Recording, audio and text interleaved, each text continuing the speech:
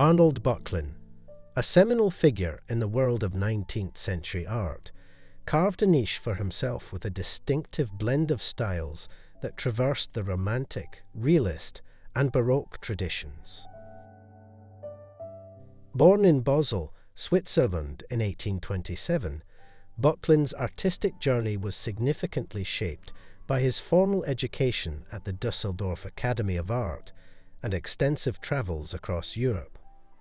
These experiences infused his work with a diverse range of influences, leading to a profound shift towards mythological and Renaissance themes, particularly during a transformative period in Rome. Böcklin's oeuvre is characterized by its eclecticism, merging various painterly traditions into a singular, imaginative vision. His mature period, noted for its inventive take on classical mythology, positioned him as a pivotal figure in the 19th century art scene. Yet, Böcklin's life was not without its trials. Personal challenges, including opposition to his marriage by his family and the sorrow of losing children, coloured his work with a dreamlike and sometimes melancholic quality. Despite these adversities, or perhaps because of them, his art gained widespread acclaim for its poetic depth and became a source of inspiration for symbolist and subsequent modernist movements. Böcklin stands out for his reluctance to identify as a modern artist, instead delving into the annals of art history from the Renaissance forward, embracing mythological imagery with both dramatic flair and extravagant detail. Arnold Böcklin emerged as a central figure in the symbolist movement, distinct from his contemporaries like Gustave Moreau and Odilon Redon. His works, often infused with a blend of humour and macabre elements, drew from classical mythology to create a unique mixture of the comic and the nightmarish, captivating surrealist artists, including Salvador Dali. From the romantic landscapes, reminiscent of Caspar David Friedrich, to a brief dalliance with French realism, and a profound admiration for the Renaissance and Baroque extravagances, Böcklin's art reflects an amalgamation of influences. His work, marked by unapologetic Catholicism and whimsical irony, presages the eclectic and ironic tendencies of late 20th century postmodernism. Why were the Greeks Greeks?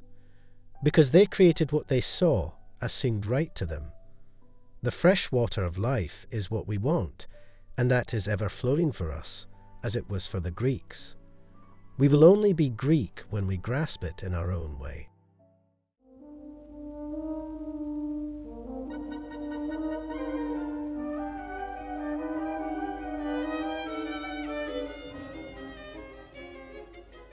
In Arnold Böcklin's self portrait, we are confronted with a haunting yet darkly humorous meditation on mortality. The artist presents himself in the midst of a creative act, brush in hand, momentarily distracted, while an animated skeleton behind him holds a violin and seems to whisper something in his ear. This juxtaposition of life and death starkly embodies the memento mori theme, a reminder of the inevitability of death that has been a potent subject in art for centuries. The portrait embodies a confluence of artistic influences and historical references. The presence of the skeleton musician echoes the medieval tradition of the danse macabre, and there is a strong suggestion that the work of Hans Holbein the Younger, with his own explorations of death in The Ambassadors and the portrait of Sir Brian Tuke, has left its mark on Böcklin. The directness of the gaze combined with the skeleton's macabre serenade, could be seen as a whimsical yet sombre acknowledgement of the artist's mortality. The attire and posture of Böcklin in this self-portrait suggest an informal, perhaps spontaneous, moment captured on canvas, reminiscent of the Barbizon school's approach to realism. The Barbizon painters, known for their depictions of rural French life, inspired Böcklin in his youth, and their influence is palpable in the painting's loose brushwork and the naturalistic portrayal of the artist. Böcklin's painting did not simply resonate within the realm of visual arts, it also reverberated through music. Gustav Mahler, upon encountering Böcklin's painting, was inspired to include the haunting sound of an out-of-tune violin in his Symphony No. 4, further exemplifying the work's far-reaching impact.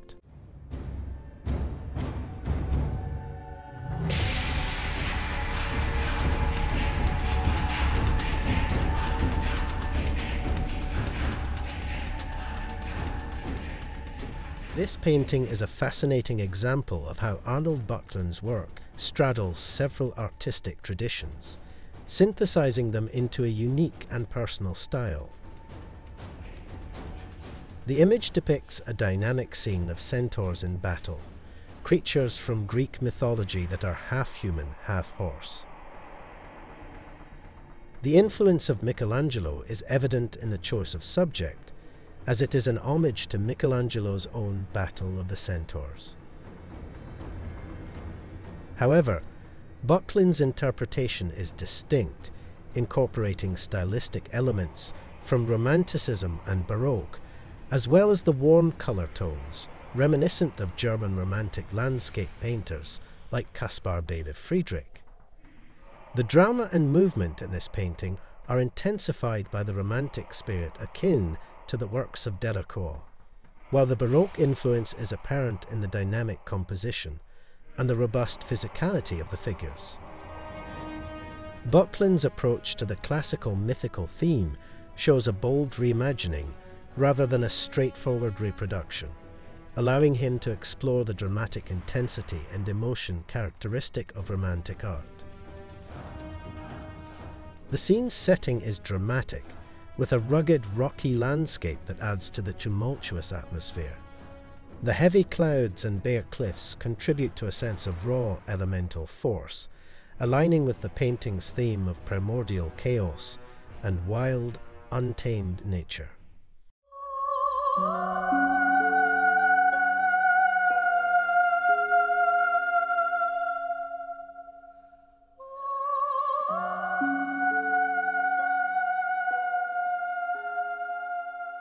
The Isle of the Dead is a powerful painting that draws on a deep well of cultural and mythical references. The romantic style of the painting, with its ethereal atmosphere and meticulous attention to detail, evokes a sense of timelessness and otherworldliness. The influence of symbolism is present in the use of metaphorical imagery, such as the boat, often interpreted as Charon's vessel from Greek mythology, ferrying souls to the afterlife. The woman in white can be seen as a symbolic figure, perhaps a mourning figure, guiding the departed on their final journey. Böcklin's choice of the cypress trees, classical symbols of mourning, and the crypt doorways enhances the funereal theme, while the dark, serene waters and towering rock formations frame the scene with a majestic and somewhat ominous presence. It's notable that Böcklin's personal experiences with death and mourning, having buried a child in Florence, may have deeply influenced the emotional weight of the painting. The colour palette and the depiction of the natural environment echo the sentiments of the German Romantic painters, drawing attention to the awe-inspiring power and beauty of nature, which can be both comforting and intimidating. This resonates with the sublime, a key concept in Romanticism where nature evokes feelings that are both overwhelming and exalted. The cultural impact of the Isle of the Dead extends beyond the visual arts into music, with Sergei Rachmaninoff composing a symphonic poem inspired by the painting. Böcklin's work came to be associated with German nationalism which isn't surprising given the era's preoccupation with themes of national identity and heritage. Its eventual ownership by Adolf Hitler adds a complex layer to its history.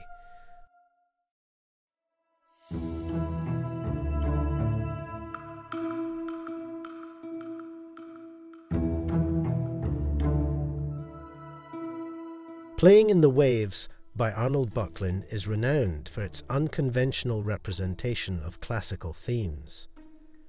The work features figures inspired by Triton, the Greek sea god, but Böcklin does not recreate a specific mythological event. Instead, he portrays a playful and startling scene he once observed, where his friend Anton Dohrn surprised female bathers at the Italian coast. Böcklin's depiction is personal, with Dohrn's likeness believed to be used for the Triton figure, complete with implied salacious motives. The painting's mood is complex. Despite the humorous undertone of the scenario, a dark and somber colour scheme suggests a deeper, more serious tone.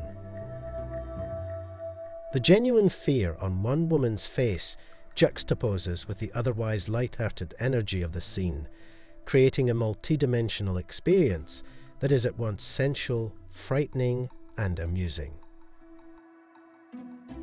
Böcklin's attitude toward classical art breaks from tradition.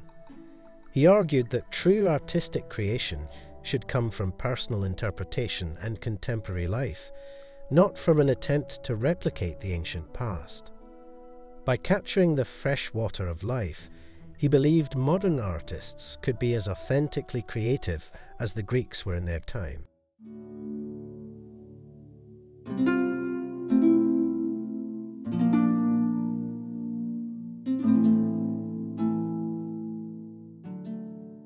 Arnold Böcklin's Odysseus and Calypso is a captivating reinterpretation of the classical myth found in Homer's Odyssey. Böcklin brings the same vibrant energy found in Peter Paul Rubens' work to many of his seascapes, but in this painting he shifts towards a more sombre and introspective depiction. The painting portrays the moment from the Odyssey where Calypso, having detained Odysseus for years, plays her lyre and gazes anxiously up at him. Odysseus, his back to the viewer, stands enshrouded in a blue veil, looking out to sea. Unlike Böcklin's more exuberant works like Playing in the Waves, the tone here is melancholic and introspective. The massive dark rocks create a sombre atmosphere, and the physical separation between Calypso and Odysseus suggests emotional distance and a longing for return, embodying Odysseus' inner turmoil and desire for his home and wife. The mood is enhanced by the figure's portrayal. Odysseus' stiff, statue-like pose and obscured face contribute to a sense of stillness and enigma, contrasting with Calypso's more animated and emotionally expressive figure. These elements lend the painting a surreal quality, blurring the line between reality and mythology. This haunting quality in Böcklin's work presages the psychological depth explored by later artists such as Giorgio de Chirico, whose metaphysical paintings often featured figures in strange, dreamlike settings. The sense of isolation and the dreamlike quality of Odysseus and Calypso can also be seen as an early influence on the Surrealist movement, where artists like Salvador Dali and Max Ernst explored the subconscious and the irrational through similarly evocative landscapes and figures. Odysseus and Calypso serves as a bridge between the vibrant energy of Renaissance painting and the introspective, symbolic art of the 20th century, illustrating Böcklin's range and his lasting impact on the trajectory of modern art.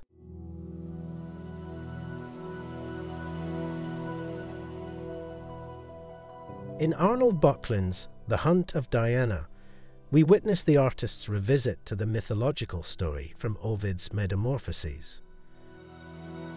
The narrative recounts the moment when Actaeon, having stumbled upon the goddess Diana bathing, is transformed into a stag and then hunted by his own dogs.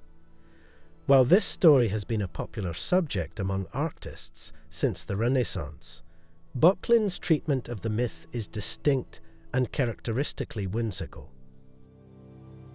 The depiction of Diana and her entourage is rendered with a lightness that almost borders on the comical. Diana's pose, graceful and delicate, contrasts sharply with the violent fate of Actaeon, hinted at by the stag's distressed posture. This juxtaposition creates an unusual tension within the piece, fusing the serene with the savage. It's an embodiment of the comic grotesque aesthetic that Böcklin had developed over his career, marked by an irreverence towards traditional depictions and an inclination towards a more fantastical rendering. This painting, executed towards the end of Böcklin's life, is more than a mythological representation. It is a reflective work, a sentimental look back to his early commission in Basel where he painted a similar scene. As such, the Hunt of Diana acts as a bridge connecting his earlier works with his mature style, weaving together influences from Renaissance and neoclassical painting with his unique vision. If you enjoyed this video, please consider subscribing. Your support helps me continue creating more content like this. Thank you.